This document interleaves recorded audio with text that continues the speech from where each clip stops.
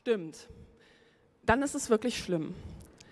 Diesen Satz hat eine Journalistin zu mir gesagt, als wir uns über den Fall Hannibal vor einiger Zeit unterhalten haben. Und gemeint ist damit eine Recherche, die zahlreiche Journalisten durchgeführt haben, unter anderem ein Rechercheteam der Taz, die zwei Jahre lang an diesem Fall gesessen haben und etwas aufgedeckt haben, das so ungeheuerlich war, dass es zuerst kaum jemand glauben wollte. Worum ging es? Es ging unter anderem um einen SEK-Beamten, der 60.000 Schuss Munition geklaut hat und im Garten vergraben hat, um sich auf einen ominösen Tag X vorzubereiten. Es ging um Soldaten, die Todeslisten erstellt haben, auf denen dann Journalisten und Politiker standen. Und es ging um einen gemeinnützigen Verein, der paramilitärische Trainings für Mitglieder einer geheimen Chatgruppe organisiert hat. Das klingt alles wie so ein richtig schlechter Thriller aus der Bahnhofsbuchhandlung, ist aber tatsächlich Realität. Das ist Deutschland im Jahr 2019. Die beiden nächsten Referenten sind Teil des Taz-Teams, ähm, die diesen ganzen Vorfall oder diese ganzen Strukturen zwei Jahre lang intensiv recherchiert haben und dafür vollkommen zu Recht mit zahlreichen Preisen überhäuft wurden. Bitte begrüßt gemeinsam mit mir ganz herzlich Sebastian Erb und Daniel Schulz, die euch jetzt etwas erzählen werden über die Affäre Hannibal. Danke.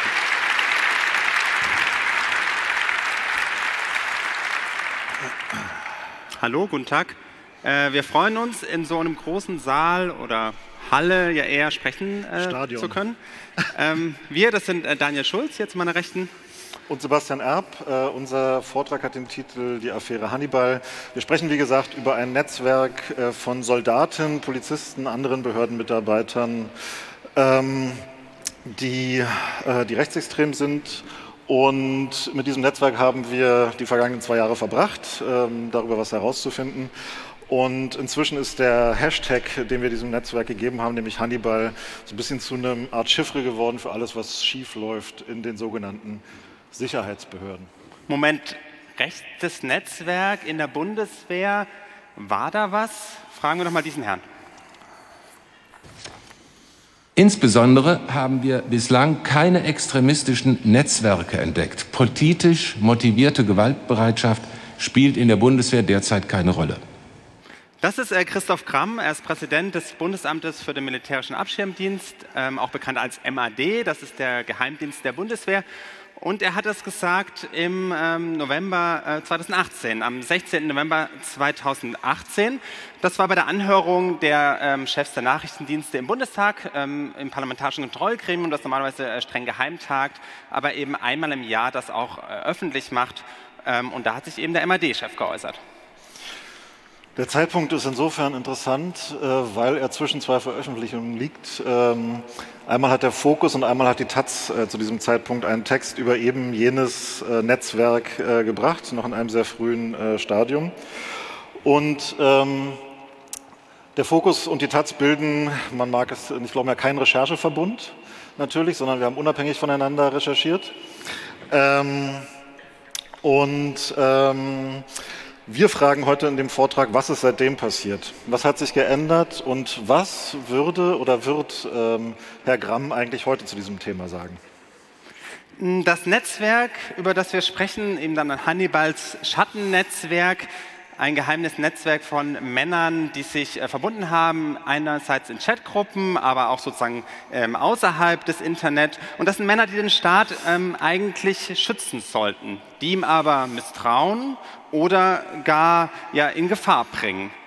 Ähm, Im Zentrum des Netzwerks steht ein Mann, er heißt äh, André S. Ähm, Anfang 30 ist der Soldat der Bundeswehr im Rang eines Hauptfeldwebels. Ähm, er ist nicht irgendein Soldat, sondern ein Elitesoldat des Kommando Spezialkräfte der Bundeswehr. Das ist die Einheit für die härtesten Einsätze, wenn es um äh, Geiselbefreiung im Ausland geht von deutschen Staatsbürgern oder auch Terroristenjagd in Afghanistan. Ähm, das KSK ist, ist ähm, geheim unterwegs. Selbst der Bundestag erfährt erst im Nachhinein, ob es überhaupt irgendwelche Einsätze gab. Ähm, die machen aber auch Imagewerbung auf YouTube oder Alexa. André S nennt sich mit seinem äh, sozusagen Spitznamen Hannibal. Und zwar, das hat nichts mit Elefanten zu tun, sondern es geht um Hannibal aus dem A-Team. Was steht denn drauf? Was draufsteht? Ich liebe es, wenn ein Plan funktioniert.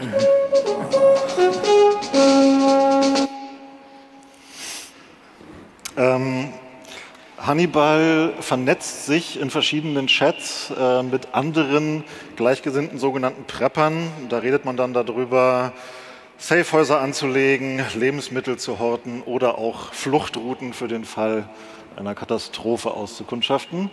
Äh, diese Katastrophe ist der ominöse Tag X. Äh, Tag X kann vieles sein, von einer Naturkatastrophe über eine russische Invasion bis hin äh, zu der rassistischen Vision einer, äh, dass uns sozusagen Migranten alle überrennen werden eines Tages. Und äh, für diesen Fall ähm, finden einige radikalisierte Mitglieder auch, sei es auch okay, äh, Waffen zu horten und äh, vielleicht auch politische Gegner umzubringen und dafür Feindeslisten anzulegen. Hannibal hat auch einen Verein gegründet, der heißt UNITA e.V. mit Sitz in Stuttgart. Ein NGO, wie sie sich selbst bezeichnet, ein Berufsnetzwerk von aktiven und ehemaligen Spezialkräften, unter anderem aus der Bundeswehr und auch der Polizei. Ähm, und das ist die offizielle Darstellung. Hinter den Kulissen sieht es ein bisschen anders aus, wie wir herausfinden konnten. Dort ähm, heißt es dann nämlich von Aussteigern, der Verein sei organisiert wie eine Sekte. Und in diesem Verein hat der Bundeswehrsoldat Hannibal äh, Zivilisten trainiert in Militärtaktik.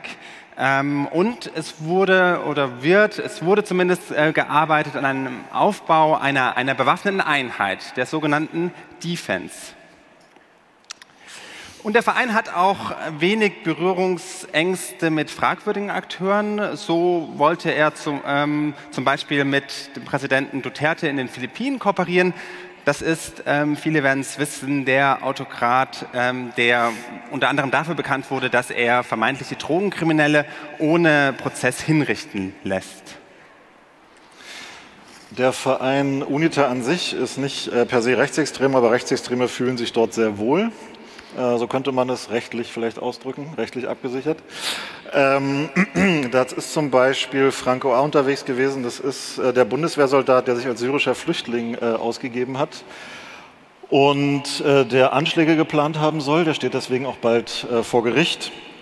Mm, Im Hannibal-Komplex oder im Hannibal-Netzwerk waren auch unterwegs ähm, die Leute aus der sogenannten Nordkreuz-Gruppe.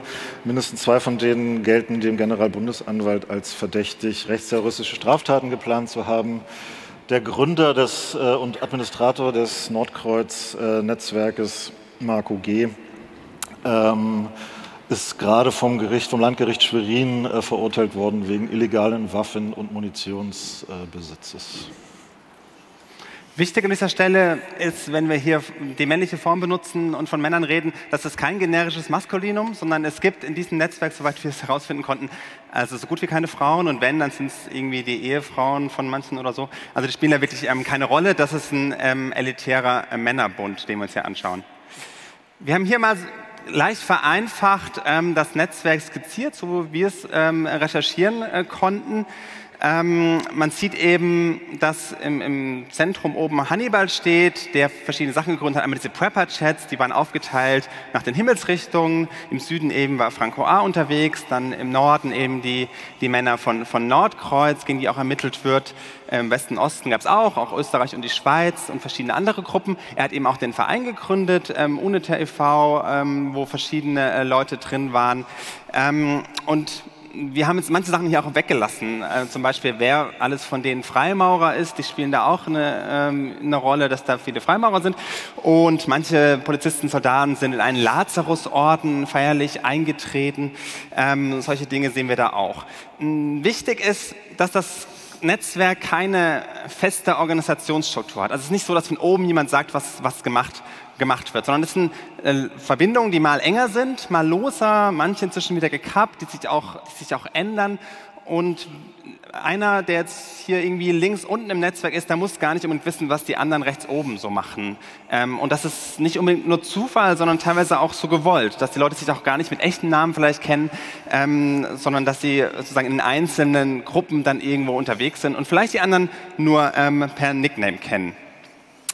Wir werden jetzt ein bisschen berichten, wie wir überhaupt dazu gekommen sind, zu dem Thema zu recherchieren und, und wie wir das gemacht haben. Ähm, und dann ganz am Ende dann auch gerne Fragen beantworten. Ähm, also wie, wie hat das angefangen? Wie kamen wir zu Hannibal oder Hannibal zu uns? Ähm, wie war das? Ja, ganz am Anfang äh, stand eine Meldung wie diese, wahrscheinlich genau die, ähm, von der DPA. Also sozusagen, es war irgendwie klar, in Mecklenburg-Vorpommern wird wegen Terrorverdacht äh, untersucht. Und äh, unsere Reporterin Christina Schmidt äh, ist dann dahin gefahren. Damals war von Hannibal natürlich noch nicht die Rede. Wir kannten auch diesen Decknamen äh, noch nicht. Aber es gab eine Besonderheit und zwar hat die, äh, der Generalbundesanwalt nicht äh, Polizeikräfte aus Mecklenburg-Vorpommern hinzugezogen. Die wurden bewusst ausgeschlossen. Ähm, das liegt unter anderem daran, dass es zwei Verdächtige gab. Einer von denen war Kriminalpolizist. Auch unter den Zeugen ähm, äh, waren Polizisten und Leute, die mit dem Militär zu tun hatten. Ähm, und deswegen sozusagen wurden die nicht mit hinzugezogen. Wir haben uns natürlich zu diesem Zeitpunkt gefragt, also es war dann klar, die Leute, oder relativ bald klar, die Leute sind im Netzwerk unterwegs, es hat so 30, manchmal hat man auch 40 äh, Mitglieder oder Leute, die damit zu tun haben. Und wir haben uns damals gefragt, auch als Journalisten wollten wir aus dem NSU-Debakel lernen, was ja auch ein journalistisches äh, Versagen teilweise war. Ist es ein neuer NSU? Das haben uns nicht nur wir uns gefragt, das haben sich auch andere gefragt. Und in dieser Stimmung entschied sich dann, äh, das wissen wir heute, dass es eine strategische Entscheidung war, äh, einer der Leute, nämlich der führende Kopf dieses Netzwerks im Norden, ein Interview in Panorama zu geben. Der, der Grund dieser Gruppe ist im Grunde nur, nur eine, wie soll ich das nennen? Modern, neu nennt man das äh, die Prepper-Szene, wenn Ihnen das was sagt. Prepper vorbereiten, das sind, das sind so Leute, die sich auf eine Krise, auf eine Umweltkatastrophe, auf irgendwelche Engpässe in der Versorgung und dergleichen äh, versuchen im Rahmen ihrer Möglichkeiten vorzubereiten. Es ging los eben mit Nahrungsmittelvorräten, Wasseraufbereitung, äh, Energieversorgung. Also einige haben sich ein Aggregat gekauft, ne? ein Stromaggregat und so weiter. Ja, das ist Marco G. Den Namen kann man sich äh, mal vormerken, der kommt später öfter nochmal. Äh, Marco G. ist eine Schlüsselfigur im Hannibal-Komplex, äh, weil er der Gründer und Administrator äh, von Nordkreuz ist, äh, also diesem Chat-Netzwerk im Norden. Äh, Marco G. ist seit 30 Jahren Polizist, ähm, 13 Jahre Landeskriminalamt, ähm, sehr lange ähm, Spezialeinsatzkräfte, war früher sozusagen Fernspäher bei der Bundeswehr, also Elitesoldat, so Leute, die man hinter die feindlichen Linien abwirft und die dann selbst äh, zurechtkommen müssen. Ist da sehr, sehr gut ausgebildet. Ähm, und nach diesem Interview gab es so ein, wie soll ich sagen, so ein bundesweites Durchatmen, ja, Erleichterung. Huh, es sind ja nur Prepper. Die einen dachten, okay, das sind harmlose Typen, die Konserven horten. Die anderen dachten, hm, okay, schon Spinner irgendwie, aber auch nicht gefährlich. Ähm, und mitten in diese Erleichterung hinein haben wir dann von so einer Szene erfahren äh, an einem Imbiss an einer Landstraße nahe Schwerin äh, wo sich vier Männer verabredet haben, ähm, Linke, also am Tag X könnte man sie eventuell in so Bundeswehr-LKWs äh, beiseite schaffen und verschwinden lassen. Ja, also wir reden hier sozusagen über ein, weiß ich nicht, Geiselnahmen oder vielleicht auch Vorbereitung zur Tötungsszenario. Ähm, die Sache ist die, Bundeswehr-LKWs, es ist für diese Männer nicht so weit äh, hergeholt gewesen, die sich da getroffen haben, weil die waren allesamt Reservisten der Bundeswehr, die wären da durchaus äh, rangekommen. Ist auch recht praktisch, wenn es Sonntag X wirklich mal gäbe, kommt man wahrscheinlich mit dem Bundeswehr-LKW noch am ehesten durch irgendwelche Straßensperren oder so äh, durch. Ähm, Reservisten, das klingt erstmal so nach alten Männern, die vielleicht auch schon mal ein bisschen dicker sind und die sich irgendwie über die guten alten Zeiten bei der Armee unterhalten. Es gibt aber durchaus auch aktive Reservistenkompanien. Äh, und ähm, die werden tatsächlich bei Naturkatastrophen oder beim, zum Beispiel bei so Ereignissen wie beim G20-Gipfel eingesetzt. So. Sieht das schon mal so ein bisschen nach Tag X aus. Ne? Ähm, also ausgerechnet die Reservistenkompanie aus Mecklenburg-Vorpommern sollte in Hamburg eingesetzt werden beim G20-Gipfel. Der Kommandant wäre ein Nordkreuz-Prepper gewesen. Ähm, das haben die Nachrichtendienste kurz vorher noch gemerkt und ihn aus dem Verkehr gezogen. Ähm, also sozusagen, er hat diese Einheit äh, nicht äh, kommandiert. Und wir sind ja ihm und verschiedenen anderen Leuten während unserer Recherchen begegnet und wir haben uns halt oft gefragt, sind diese Leute rechtsextrem? Ähm, wir können es jetzt vielleicht schon im Vorhinein mal sagen, also wir sind dem klassischen Rechtsextremen äh, nicht, äh, äh nicht begegnet. Ähm, so Kameradschaftsleute, NPDler, was weiß ich. Ähm, was wir gefunden haben, sind so mittelalte bis ältere ja, weiße Männer, die sich äh, nach ähm, der äh, stärkeren Zuwanderung ab 2015 und der darauf folgenden Organisationskrise äh, quasi radikalisiert haben, ja, teilweise innerhalb von relativ kurzer Zeit.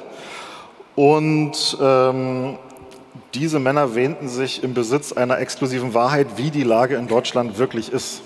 Und diese exklusive Wahrheit bekam sie unter anderem von Hannibal, der nämlich dann in den Chats äh, so geschrieben hat, äh, mit seiner Autorität als, äh, als KSK-Soldat, ähm, als hätte er Informationen, die anderen äh, verschwiegen werden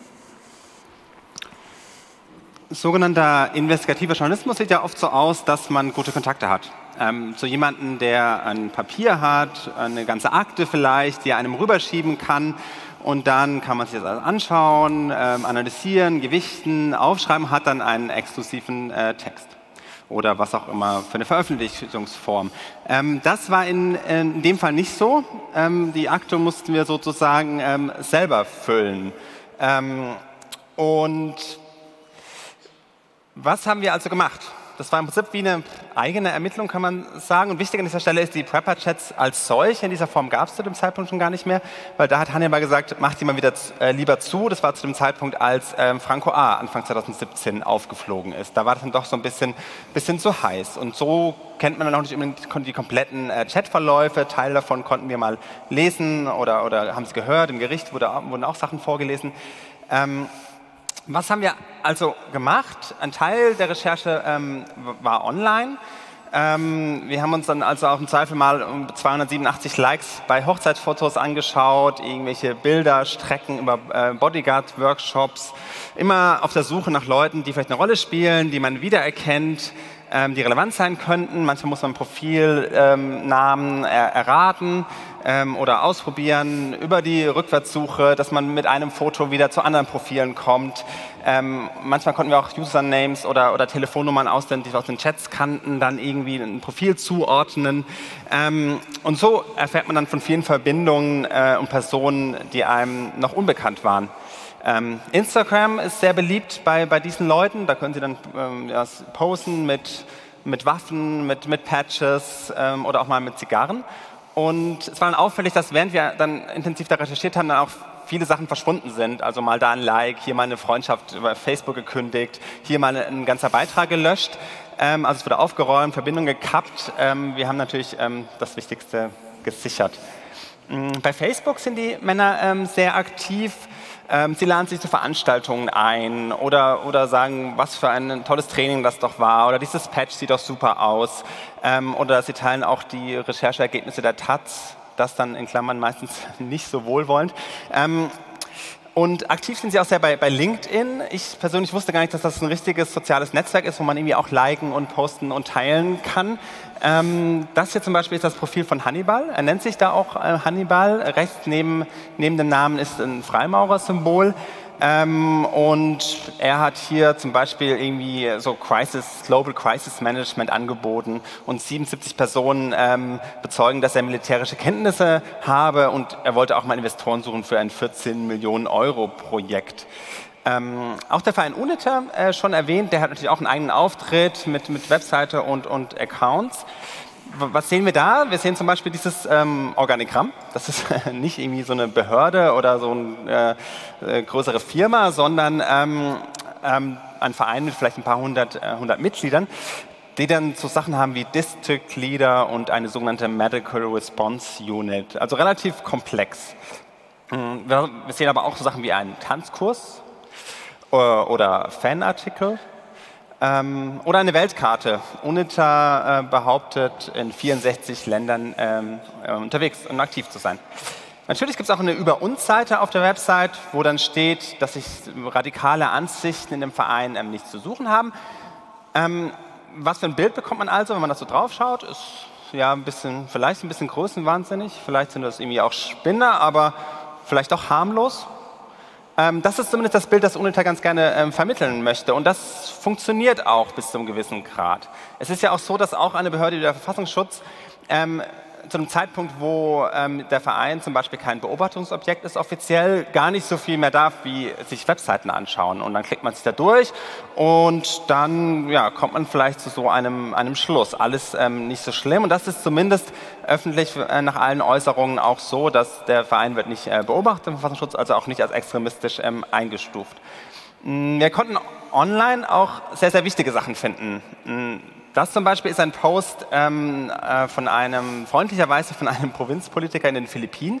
Der hat mal ganz viele ähm, PowerPoint-Präsentationsfolien und von so einem Treffen abfotografiert auch, ähm, wo eben UNITA sich angedient hat, mit Sicherheitskräften von Duterte ähm, in den Philippinen aktiv zu werden. Und das konnte man einfach so auf, auf Facebook finden. Mm, man findet auch Sachen natürlich online oft, die vielleicht interessant sind, mehr oder weniger, aber nicht so besonders ähm, relevant. Ähm, ein Beispiel, jetzt wirklich exklusiv hier zum ersten Mal überhaupt präsentiert ein Foto von Hannibals Hund. Das ist äh, der Hund, er heißt äh, E. -Punkt.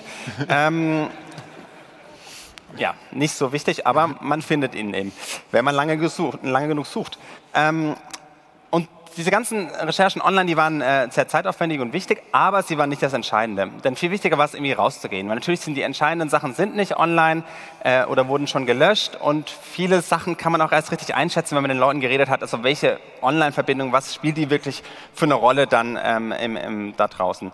Ähm, und dann haben wir eben an äh, vielen Türen geklingelt. Wir waren ähm, unterwegs an ähm, ja, allen möglichen ähm, Gegenden, haben dann manchmal Leute getroffen an seltsamen Orten, ähm, Stichwort McDonalds oder auch vor irgendeinem Einfamilienhaus in Mecklenburg-Vorpommern. Es war komischerweise, es war immer kalt, es, wir haben immer im Winter irgendwie hauptsächlich dann diese... diese ja, sozusagen, Palme zu sehen, das Geschichtsfeld. Achso, ja, das ist Symbol, Symbolfoto. Ähm, da, so weit hätten wir nicht, äh, wären wir nicht gereist wahrscheinlich, zumindest äh, spielte das da keine Rolle. Ähm, und irgendwann haben wir dann auch Unterlagen gehabt, ähm, interne Vereinsunterlagen bekommen oder auch dann in Ermittlungsakten einsehen können. Ähm, sehr gut war, dass nach den ersten Veröffentlichungen sich Leute bei uns gemeldet haben. Also Informanten, die ähm, aus dem Netzwerk waren, drumherum, die was gehört haben. Und das war interessant und auch wichtig für uns. Einmal wegen der Inhalte, die sie uns erzählt haben, aber auch, das waren Leute, die tendenziell, würde ich jetzt mal so vermuten, tendenziell weit rechts von uns stehen, politisch, die aber das, was sie da erlebt haben, gesehen haben, nicht okay fanden, die das sehr problematisch fanden. Und das hat uns dann auch nochmal bestärkt, äh, da dran zu bleiben, wenn sogar die Leute, die das ähm, äh, sozusagen vielleicht alles ein bisschen lockerer sehen, dann auch schon als Problem wahrgenommen haben. Und ein bisschen schwierig für uns war, dass dann die Leute uns teilweise ähm, gespiegelt haben, dass sie selber Angst haben und nicht genau wissen, ähm, ob sie in Gefahr sind, wenn sie mit uns reden. Ähm, und das sind alles Leute, die im Zweifel in Afghanistan irgendwie äh, ähm, im Krieg unterwegs waren und ganz andere Sachen schon erlebt haben. Und das hat uns auch ein bisschen zu denken gegeben, was das wirklich dann im Netzwerk da alles ähm, passiert. Und es war dann auch die Rede, dass ein Kopfgeld ausgesetzt wurde ähm, für eben dann Menschen, die mit, mit äh, der Presse reden, was natürlich einmal mehr noch uns dazu äh, gebracht hat, natürlich möglichst sichere Kommunikationswege und so weiter zu benutzen. Ähm, und ja, vielen Dank immer an dieser Stelle auch an, an die Leute, die sich, ja, die uns Informationen ähm, gegeben haben, weil ohne die hätten wir das gar nicht, gar nicht recherchieren können.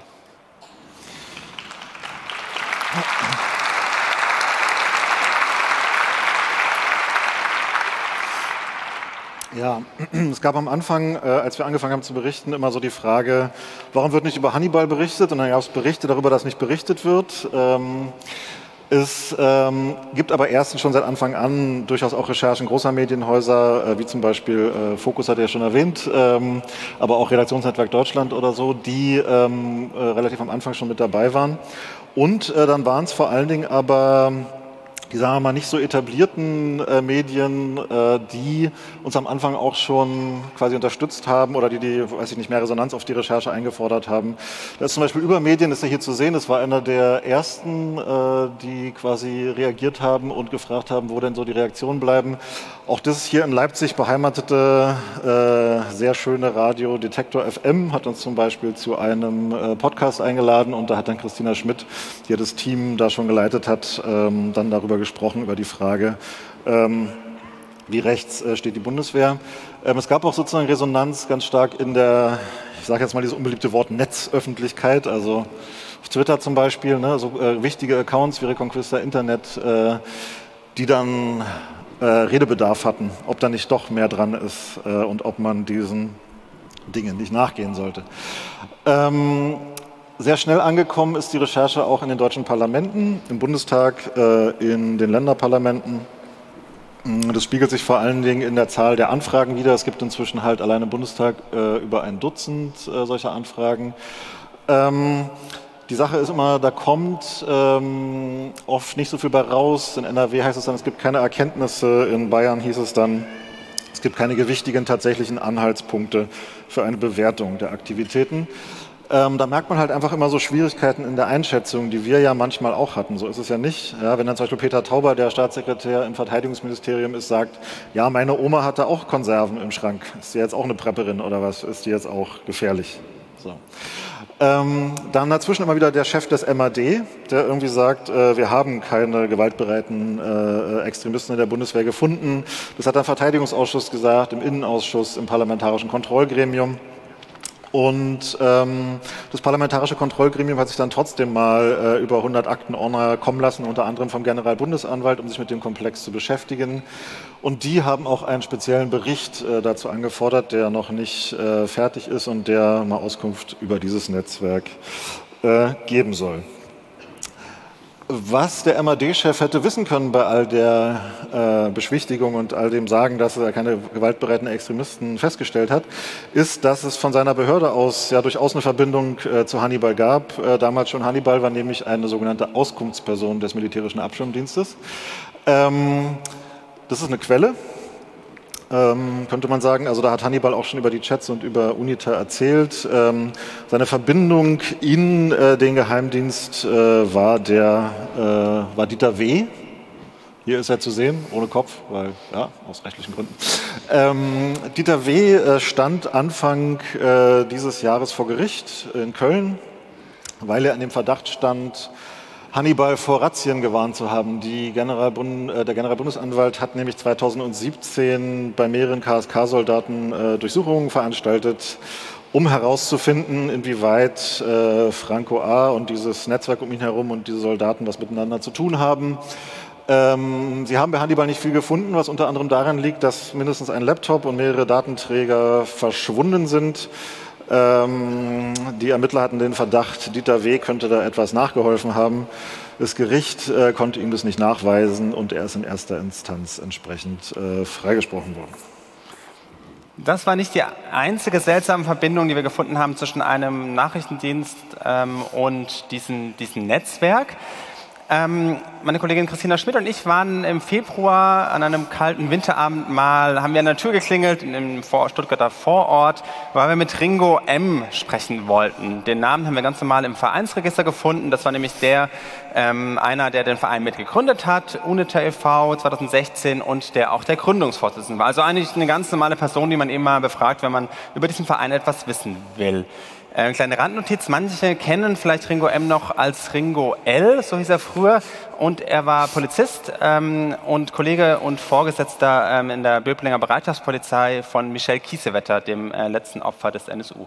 Wir ähm, sind also an diesem Haus, das ist so ein mehrstöckiges Wohnhaus mit so einem Außentreppenhaus ähm, und, und, klingeln, klingeln an der Tür. Ähm, es ist jemand da, weil innen ist Licht. Das Licht geht aus, im Flur geht die innere Tür zu also offenkundig will da jemand nicht mit uns reden. Ähm, kein Problem, wir, was wir immer machen, dann äh, lassen wir eine schriftliche Nachricht. Ähm, Christina, ähm, äh, Christina Schmidt hat angefangen zu schreiben und sie war noch nicht fertig mit so einem halben, halben äh, DIN A5-Zettel, als wir Türen schlagen hören unten an der Straße. Und dann schauen wir runter und sehen einen äh, schwarzen Porsche Cayenne, der vorgefahren ist und vier Männer, die so Informationen auf das Haus äh, zulaufen. Und wir so, hm, okay. Wir konnten nicht viel machen, außer da runter zu gehen ähm, und und zu fragen, wer ist denn da? Wir haben ihn auch schon erkannt. Einer von den vier äh, war Ringo M. Einer hat sich als sein Anwalt vorgestellt, mm, aber der, der war kein Anwalt. Und ähm, Interessant war, dass Ringo M. hatte Redebedarf. Ähm, er war da mit äh, Badelatschen und, und, und, Socken, wie gesagt, ein kalter Februarabend. Ähm, und dann plaudern wir halt ein bisschen, weil jetzt oder nie, das war klar, die äh, Chance kommt nicht nochmal. Und dann haben wir ihn gefragt, wie, wie, das so war mit dem Verein. Wir wussten schon, dass er relativ äh, kurzfristig ähm, aus dem vom Vorstand wieder zurückgetreten ist. Sagt er, ja, das lag an meinem Arbeitgeber. Der, das war irgendwie nicht so gut, das zu kombinieren. Dann fragen wir, ja, wer war denn der Arbeitgeber? Wir müssen auch nicht den Namen sagen, was eine Behörde, ist es eine Firma? Und dann die Frage wollte er nicht so richtig antworten. Ähm, wir hatten schon eine ganz gute Vermutung, ähm, wer der Arbeitgeber sein könnte. Ähm, und da haben wir am Schluss auch gefragt, ja, Sie, Sie arbeiten doch hier in Baden-Württemberg für den Verfassungsschutz. Und dann sagt er, nein. Das war aber gelogen. Ähm, das konnten wir dann auch ähm, nachweisen, haben das dann geschrieben, hat, wurde auch ziemlich schnell vom Innenministerium Baden-Württemberg ähm, bestätigt und gab dann da auch in Baden-Württemberg so ein bisschen, bisschen Aufregung.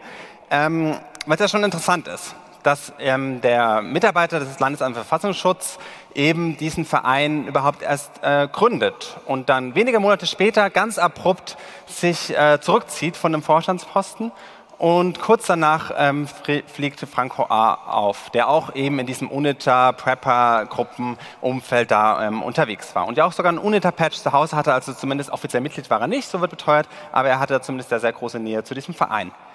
Ähm, und das Landesamt für Verfassungsschutz Baden-Württemberg wäre ja dafür zuständig zu schauen, was macht dieser Verein? Sind die so, wie sie sich geben oder vielleicht ist es doch ein bisschen problematisch? Müssen wir da genauer hinschauen.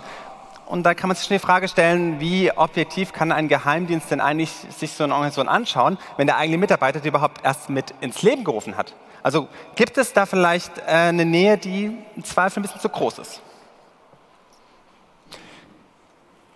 Jetzt kommen die konkreten Folgen, die ähm, unsere Recherchen dann doch auch hatten. Also in dem Fall ähm, haben wir das irgendwie geschrieben und dann gab es aber überhaupt einige Folgen, die unsere Recherchen hatten.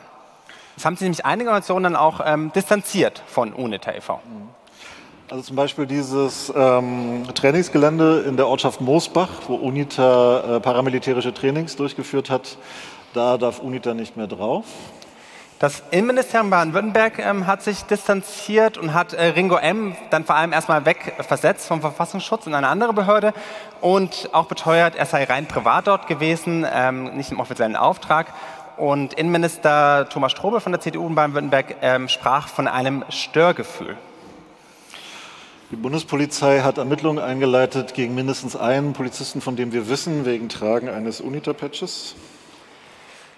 Der Waffenhersteller Heckler Koch ähm, hat sich auch ähm, von, mit, dem Verein nichts mehr zu tun haben. Er hatte geschäftliche Kontakte mit einigen UNITA-Leuten und auch das UNITA-Logo, wie man hier sehen kann, war auch mal in einer offiziellen Werbeanzeige zu sehen.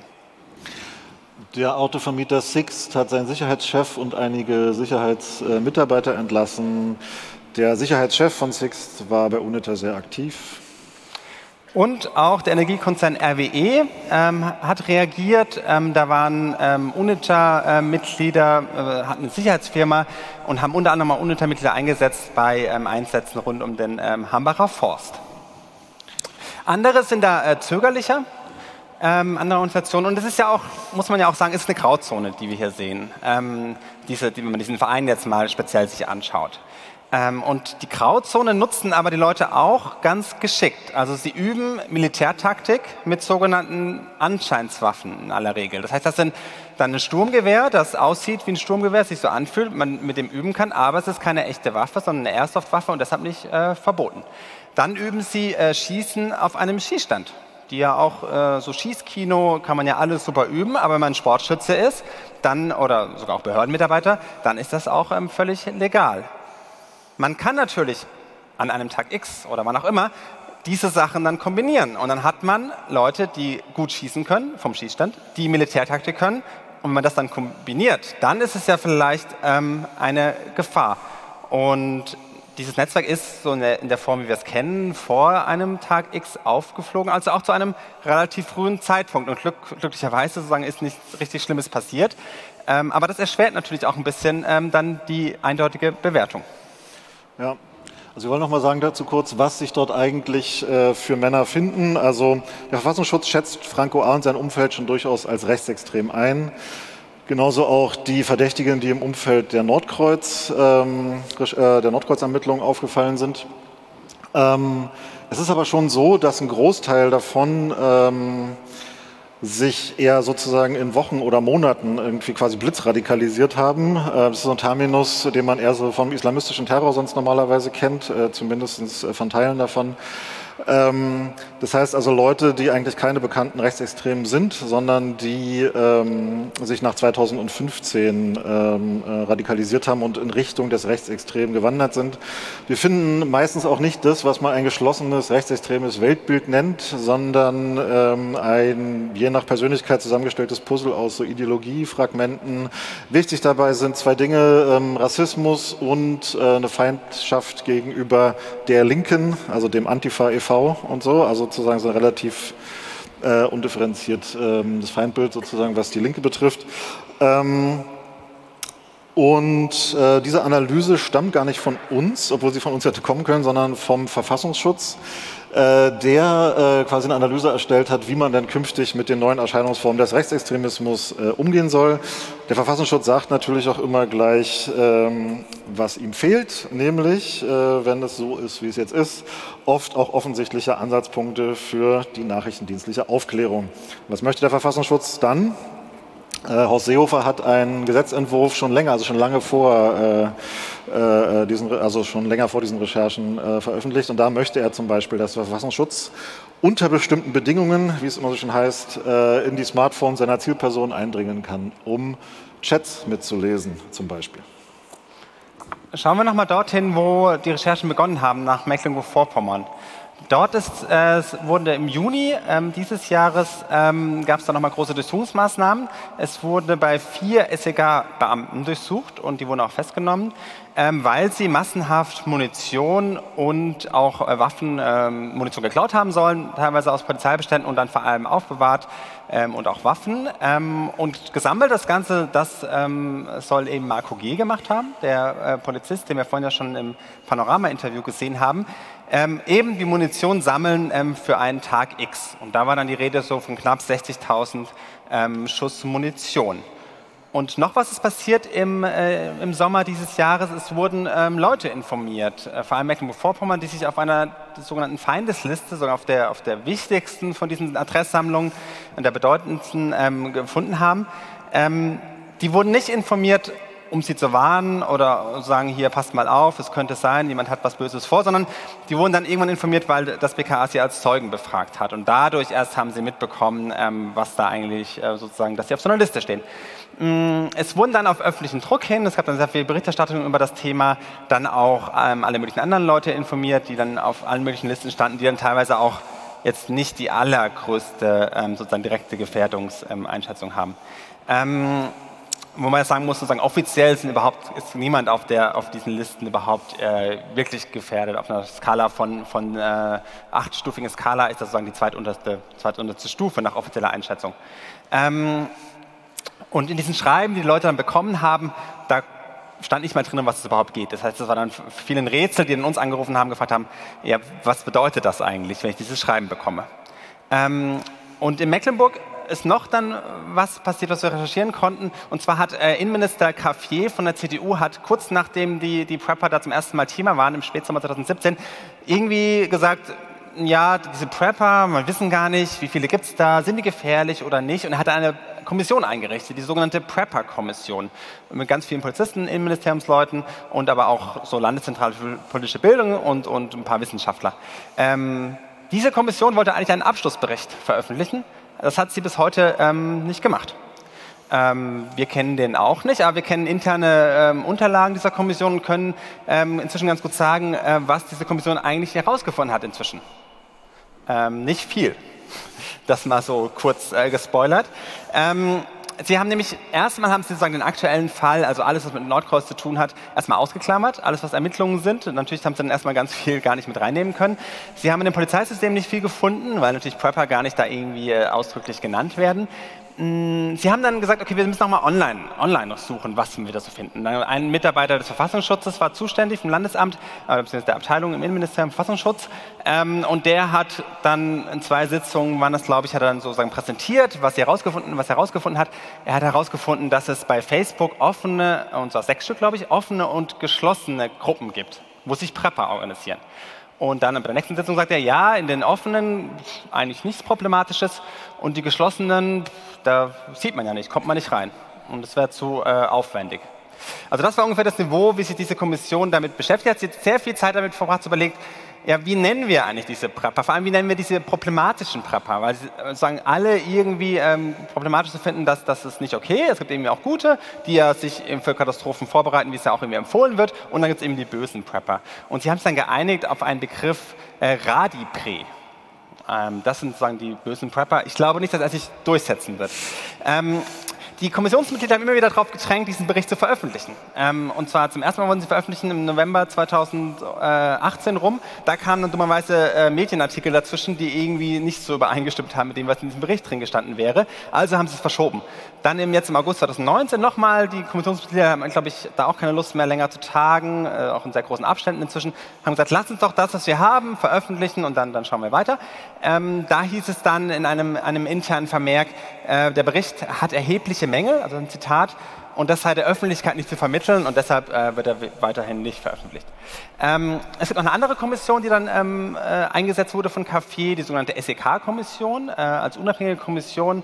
Ähm, und die sollten herausfinden, was eigentlich in diesen SEKs da los ist, wo ja dann irgendwie Leute Munition abzweigen und für den Tag X sammeln und einer davon irgendwie jetzt ähm, dann auch vor Gericht stand.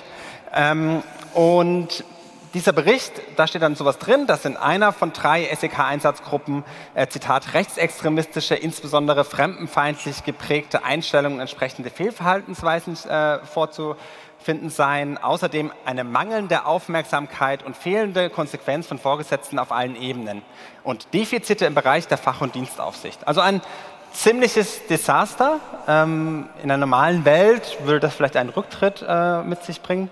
In Mecklenburg-Vorpommern äh, auf jeden Fall nicht. Aber Cafier hat Änderungen angekündigt. Ähm, das SEK zum Beispiel soll der Landesbereitschaftspolizei zugeordnet werden, nicht mehr dem LKA. Ähm, es soll in Zukunft auch ein Psychologe dabei sein beim Auswahlverfahren. Und es sollen mehr Frauen in die Landespolizei, weil dann sei das schon alles mit diesen äh, nicht mehr so problematisch. Ähm, und es gab auch ähm, personelle ja, Konsequenzen, so wurde es genannt.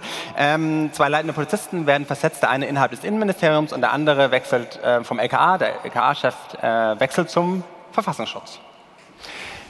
Ähm,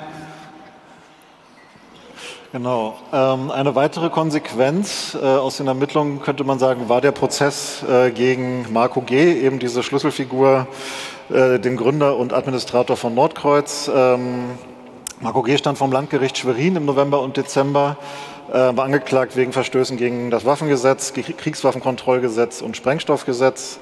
Die Staatsanwältin hat 42 Minuten gebraucht, um vorzulesen, was er alles so gehortet hatte an Waffen, äh, Munition, also ungefähr so eine Schulstunde lang. Ähm, wir haben es gestoppt, also von daher die Zahl ist gerichtsfest. Ähm, die ähm, und Marco G. hat sich, äh, also und um Nordkreuz ging es eigentlich nur am Rande. Es ist sozusagen quasi als Motiv vielleicht fürs Waffensammeln oder so hat die Staatsanwaltschaft es in Betracht gezogen. Aber darüber ist äh, eigentlich nicht verhandelt worden. Äh, Marco G. hat sich im Prozess eingelassen, also er hat schriftlich und mündlich äh, auf Fragen geantwortet und hat quasi gesagt, ja, okay, vielleicht war ich etwas unordentlich mit dieser Munition und ja, diese Maschinenpistole, die aus Bundeswehrbeständen geklaut wurde, die habe ich aus Abenteuerlust auf einem halbdunklen Parkplatz gekauft äh, und dann bei meinen äh, Schwiegereltern irgendwie vergessen äh, im Schrank. Ähm, und äh, meine Chats, ja, die gab es zwar, aber die waren völlig unpolitisch. Ähm, mal so die Gegenprobe. Also die jetzt nicht als antifaschistische Gruppe bekannte Bundesregierung äh, schätzt äh, den Chat 4 gewinnt, den, in dem Marco G. auch unter anderem war, äh, als rechtsextrem ein. Es war in diesem Gerichtsprozess ein Kriminalpolizist äh, äh, äh, vor Ort, der die Kommunikation von Marco G. ausgewertet hat. Nordkreuz-Chats konnte er nur bedingt auswerten, weil ab 2000 oder vor 2017 ähm, ähm, ja, quasi viele Löschungen äh, quasi dabei sind. Ähm, aber andere Chats wie Reisegruppe DD oder Dresden, äh, die uns auch bekannt sind, äh, konnte er auswerten.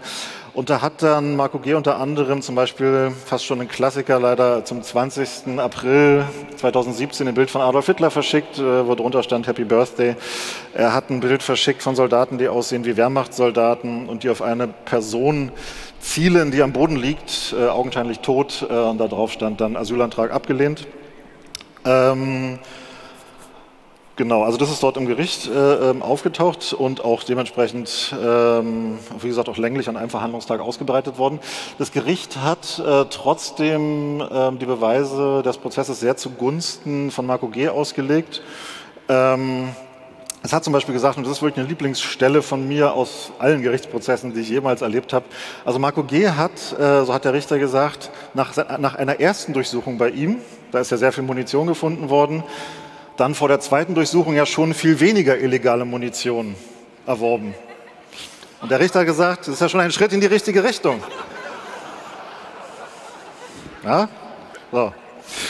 Ähm, und ähm, der Richter hat es ihm auch als, äh, wie soll ich das nennen, als Vorteil ausgelegt, dass er über seine Einnahmen dieser Gruppe Buch geführt hat. Weil Terroristen führen keine Kassenbücher.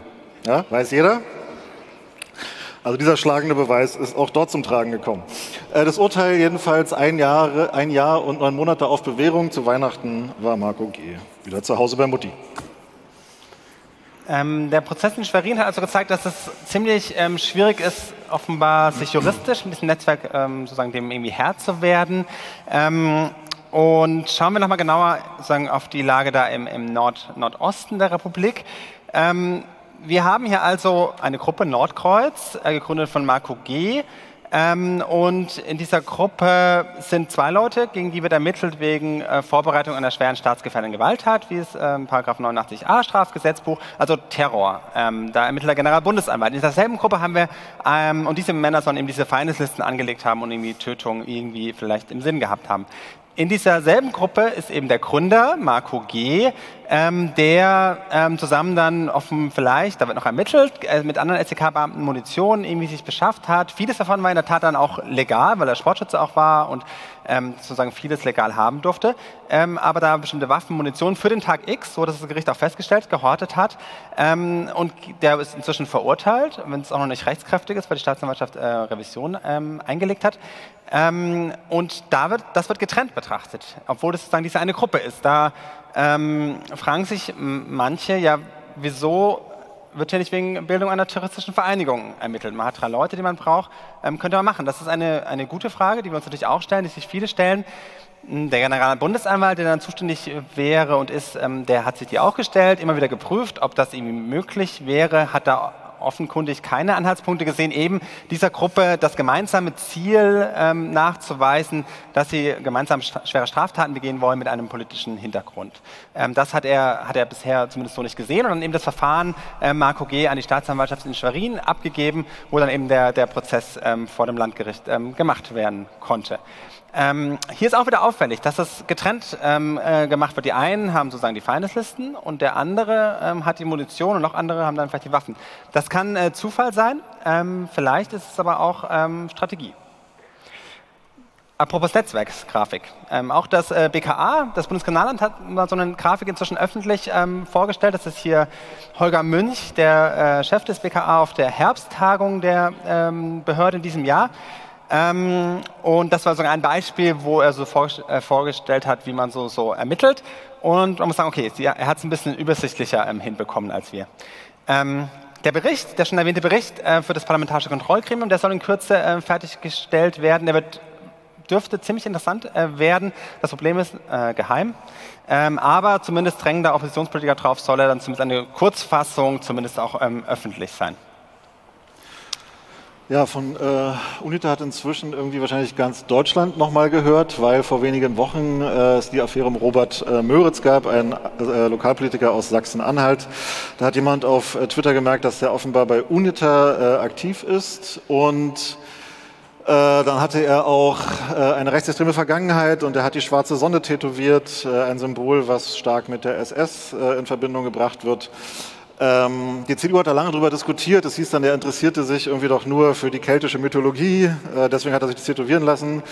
Man fragt sich immer, was passiert wäre, wenn er irgendwie, keine Ahnung, sich für Wale interessiert hätte. Dann wäre er so groß, wäre ein Familientattoo geworden. Ja? Hätten sich alle irgendwie so ein Wal tätowieren müssen. Man weiß es nicht. Aber jedenfalls, ähm, die, ähm, die CDU hat fast die Regierung äh, zerlegt über diesen, äh, über diesen Mann, weil die Grünen natürlich wollten, dass, äh, oder zum Beispiel die Teile der Grünen wollten, dass der Mann ausgeschlossen wird aus der Partei.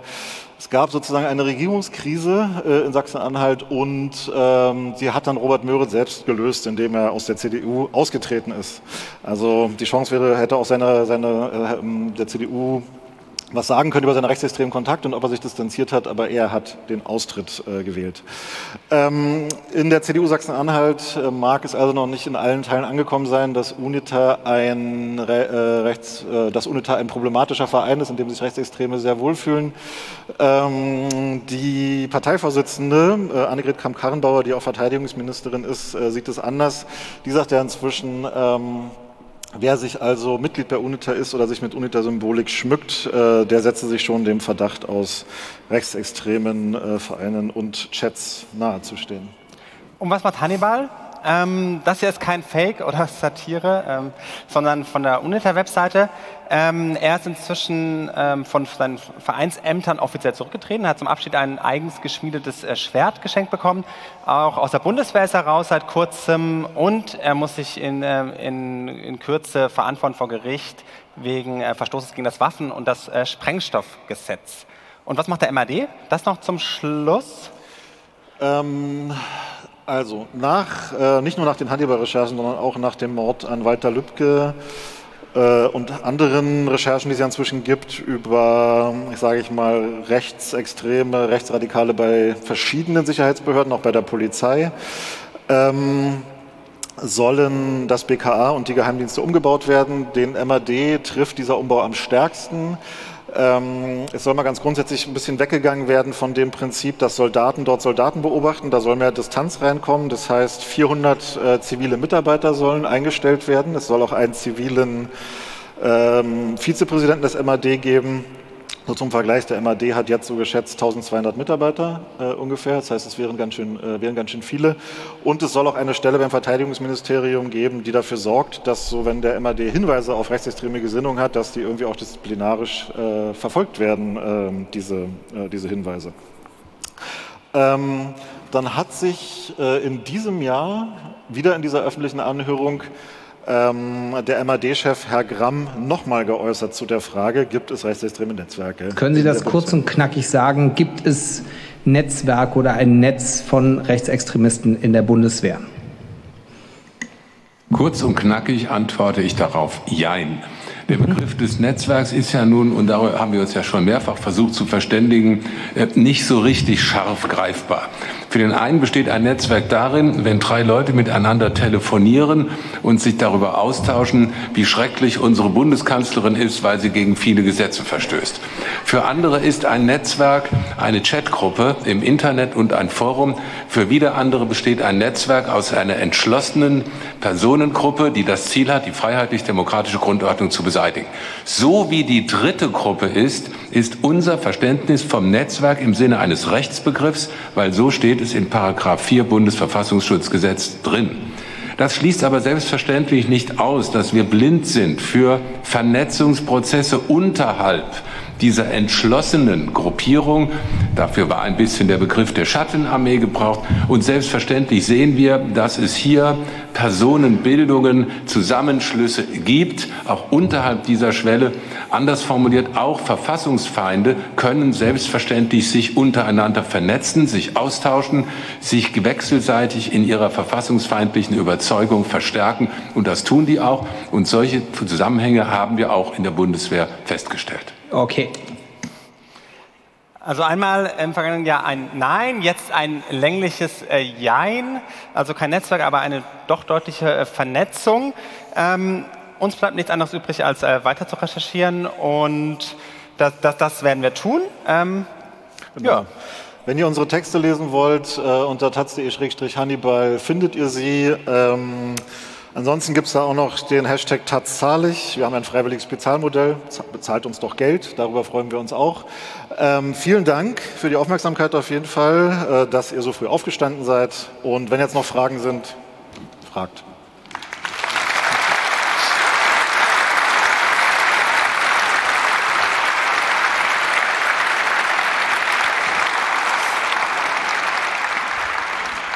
Ja, vielen herzlichen Dank für diesen wirklich äußerst spannenden, aber auch sehr erschreckenden Vortrag. Wir haben jetzt noch ein wenig Zeit für Fragen und wir würden mit einer Frage aus dem Internet beginnen. Ja, äh, zunächst mal danken euch sehr viele Leute im IRC und sie fragen, ob es personelle oder Zusammenhänge oder Kontakte zu äh, den Stay Behind und Gladio-Netzwerken gibt, die von der CIA initiiert wurden. Ähm, das ist auch eine beliebte Frage von Anfang an. Ähm, Hashtag Hannibal gleich neben Hashtag Gladio. Ähm, wir haben da, also wir sind grundsätzlich auf der Suche auch, wie viele andere, was für Kontinuitäten es möglicherweise Weise gibt, von längeren ähm, sozusagen Organisationen, die vielleicht früher anders hießen. Ähm, wir haben da bisher ähm, keine, keine Erkenntnisse, dass es da irgendwelche Kontinuitäten oder Zusammenhänge zu diesem Phänomen gibt. Als nächstes eine Frage aus dem Saal und zwar von der Nummer 7. Wie kommt, äh, ist irgendwie bekannt, wie es dazu kommt, dass äh, viele deutsche Geheimdienste, Inlandsgeheimdienste so ein unvorstellbar enges, ja beschränktes Bild vom Rechtsextremismus haben? Äh, wisst ihr dazu was? Naja, man kann da natürlich, ähm, wie soll ich sagen, verschiedene Theorien haben. Also der, ich sage mal so, der Punkt ist, dass uns während dieser ganzen Recherche relativ oft von Behörden gerade am Anfang vermittelt wurde, da wäre nichts. Ja? Und wir haben auch öfter mal an uns selbst gezweifelt, ob wir vielleicht was sehen, was gar nicht da ist. So. Der Punkt ist nur, es gab dann immer so verschiedene Motivationen weiterzumachen. Ich zum Beispiel, ich bin ja Hashtag Baseballschlägerjahre in den 90ern in Ostdeutschland aufgewachsen. Ich kenne dieses Gefühl dass einem Behörden sagen, dass irgendwas nicht da ist, was dann vielleicht doch da ist. Ähm, und von anderen sozusagen, wir hatten, äh, wir hatten eine relativ diverse Gruppe, wurden dann wiederum andere Gründe gesehen, warum man immer weitermachen sollte. Ich würde zum Beispiel sagen, Stichwort Diversität. Es ist äh, ein Problem zum Beispiel der Geheimdienste, wenn dort nur männliche weiße Juristen arbeiten, und zum großen Teil ist es so äh, die sozusagen eine bestimmte Ausbildung haben oder so, dann zum Beispiel sehen die das nicht. Also ich weiß, Diversity klingt immer so als so ein Soft, so weiß ich nicht, so ein softes Wort.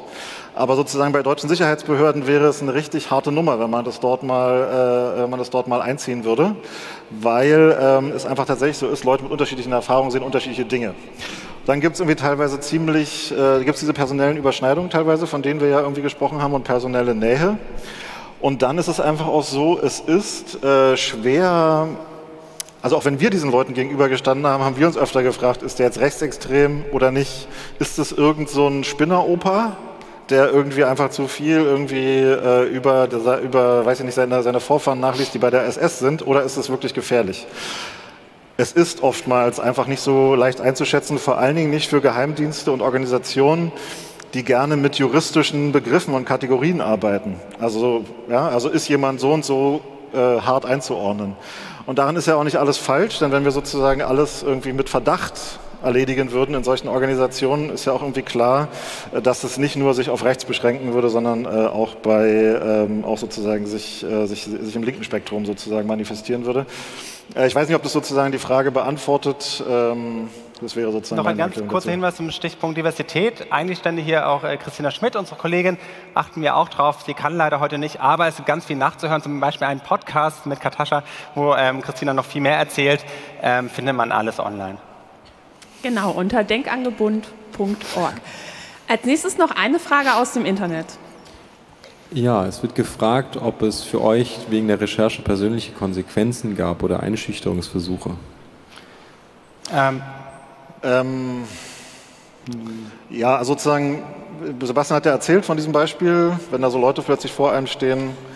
Ähm, es gibt auch so Mails, in denen, könnte man sagen, Dinge, die man als Morddrohung verstehen könnte, geäußert worden sind.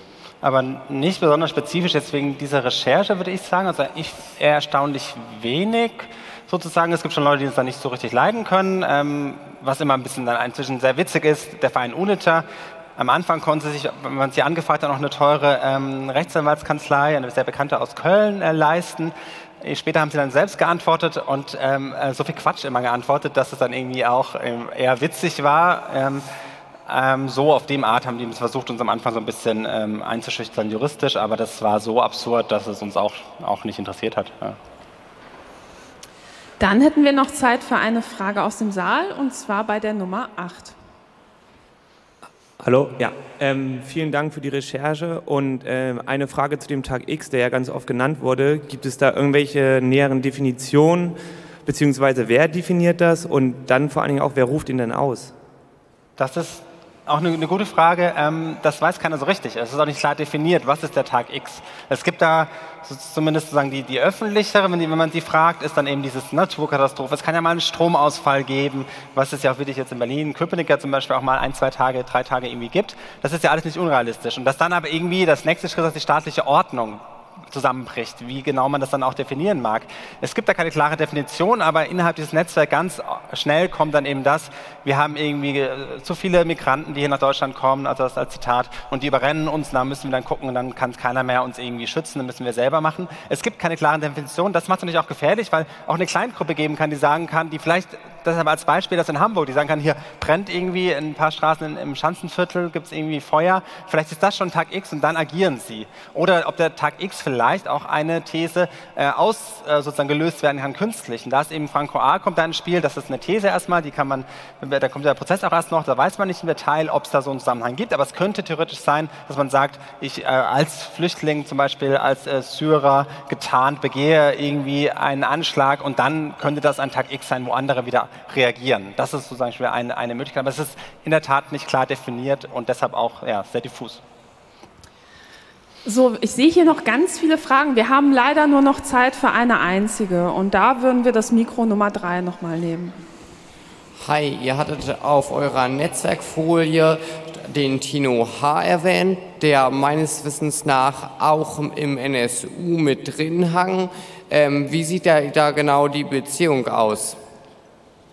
Ähm, wir haben es hier ähm, mal aufge, aufgemalt. Diese Verbindungen sind alle nicht zum NSU selbst, sondern zu ähm, dem Umfeld ähm, eines NSU-Opfers, eben Michael Kiesewetter in Böblingen bei der Bereitschaftspolizei. Das ist eben aufgefallen, dass da einige Leute, die damals in dieser Polizeieinheit waren, in, ähm, dann wieder aufgetaucht sind, vor allem Ringo M., der eben den Verein gegründet hat, es tauchen uns Leute auf wie Thomas B., ähm, der unter anderem auch vorher mal aufgefallen ist, weil er illegal Polizisten in Libyen ausgebildet hat.